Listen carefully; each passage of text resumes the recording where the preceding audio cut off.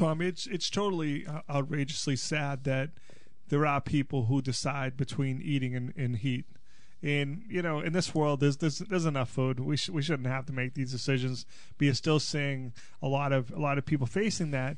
And I find people to be naive. You know, they're they're literally your neighbors. The Yep. people you you know. God, God forbid, there's a ton of elderly in this situation.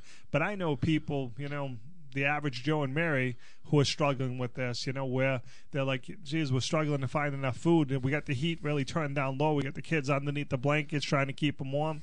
That's sad. It is.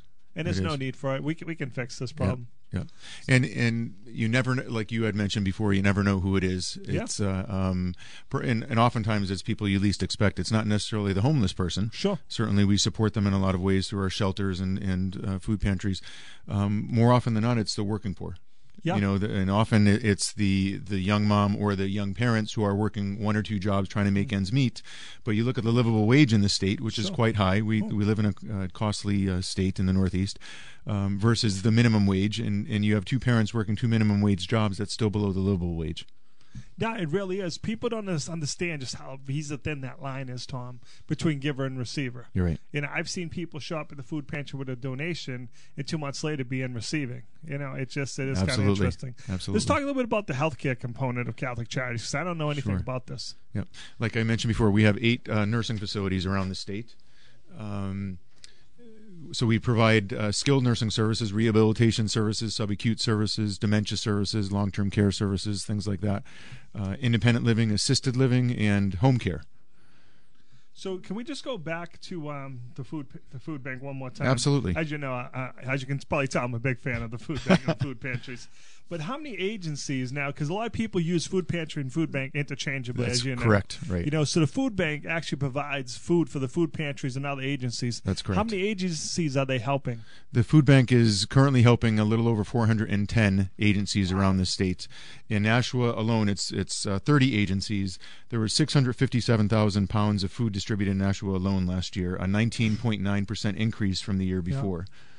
You know, um, I didn't real, realize the impact of food banks. I used to serve on the board of the Merrimack Valley Food Bank Great. before I went over to the Dracut Food Pantry. And, you know, it's, it's great, Tom, when you hear those numbers. It really is. You don't have no idea what it means until you're standing in the food pantry looking out the line going, do we have enough food this week? Right. You know, without the food bank being there to provide for those the pantries and other agencies, there is no way they could ever do what they do. Right. So, you know, like I said, next time you're thinking about making a donation, please support the food pantry, support the food banks, because without the food bank, there's no food pantries. Right. You know, I know speaking from the Dracut Food Bank, there's no way we can accomplish what we do. And you, you know, when you hear six hundred thousand plus, you know, Merrimack Valley Food Bank over three million pounds, you're like, wow. Yep. But until you're standing standing and looking out the at the door at people standing in line, you have Yep. no idea Right. how important that really is. Right, and l- last year um, we distributed 8.4 million pounds of food throughout the state. And interestingly, when I started a little over seven years ago, we were at about uh, 15% in regards to the food we had to purchase. Now we're closer to 40%. Yeah. So it's it's getting more and more costly, Sure. you know, to try to continue to meet the needs. There isn't as much uh, food being brought to market to test by the uh, um, producers, um, and then anything, uh, even at the grocery level, um, anything that isn't selling, it might be discounted or it might be sold off to the dollar stores. So Yeah. there's uh, food is getting harder and harder to procure, so our costs are going up as well. It sure is. You know, we face that at the pantry when we don't, you know, get donations, which we're very blessed to receive a number of donations. Right. You have to go out and buy it. Right. And each month you see that it's just trickling up just a little bit, little Yep, bit. yep. And you're like, oh my God, you know, how are we going to continue to do this? So, Right. all right. So and we're your- and what's we're your- fortunate to per- to be able to pool our shares and purchase uh, food through a consortium with the, the Boston Food Bank, the Connecticut Food Bank, um, the Maine Food Bank. So we're able to pool our shares and purchase uh, food through the Feeding America network, so Yep. we can get it at uh, um, extremely Sure. reasonable rates, Right. wholesale rates. That's definitely.